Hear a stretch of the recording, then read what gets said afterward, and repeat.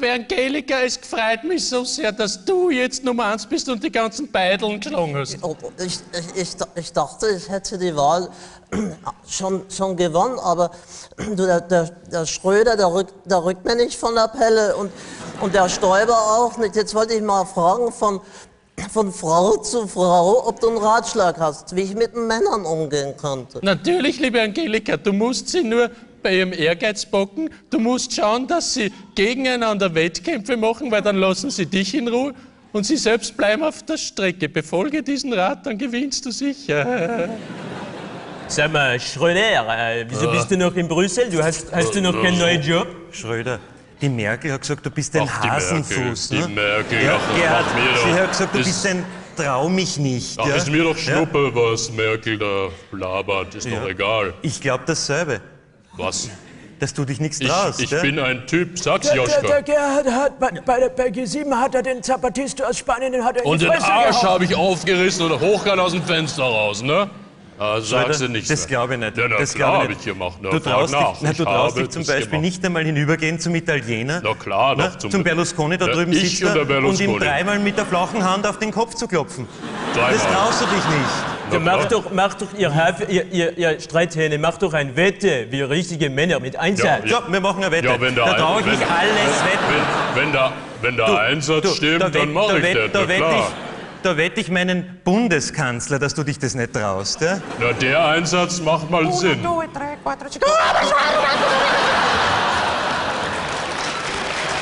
Dachchen. Hallo. Dach. Wettschulden sind Ehrenschulden und deshalb bin ich jetzt der neue Bundeskanzler von Österreich. Und liebe Österreicherinnen, es ist aus mit der Gemütlichkeit. Jetzt heißt es Malochen und ran an die Buletten, nicht wahr? Ja? Fleischlabern heißt das bei uns. Ja? Ulkiges Wort. So, tschüssi. Wir gehen die Türen auf hier in Österreich. Drücken, das sind Fluchttüren im Bundeskanzleramt. Gell? Und passt du mir auf auf unser Österreich. Gell? Du, die Merkel hat gesagt, Stoiber, dass du ganz ein schlechter Skifahrer bist und noch nie Was? auf Ski gestanden bist. Ach so, ein Blödsinn.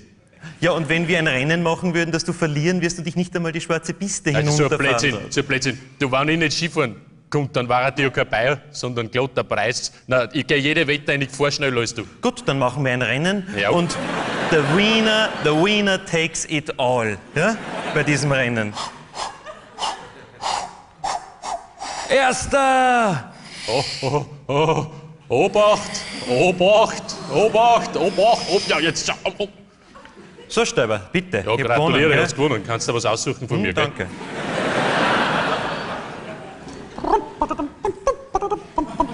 Grüß Gott.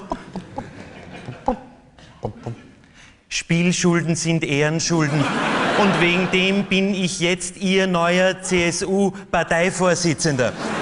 Sie werden sagen, ich bin kein waschechter Bayer, aber das stimmt so nicht. Am Abend setze ich mich genauso gern wie Sie mit einem Glas Wein zum Fußballspiel und halte die Daumen für Bayern Leverkusen.